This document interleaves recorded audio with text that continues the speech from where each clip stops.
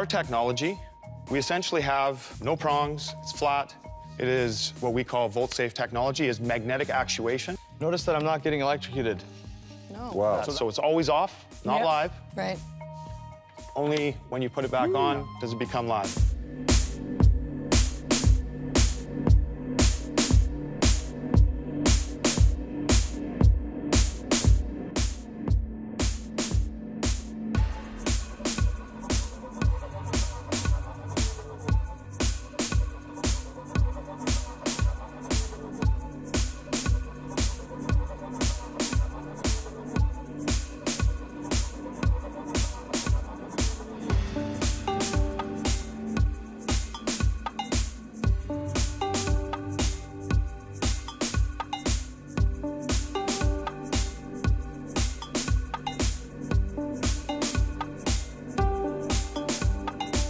This is a big idea. This is, let's reinvent the electrical plug.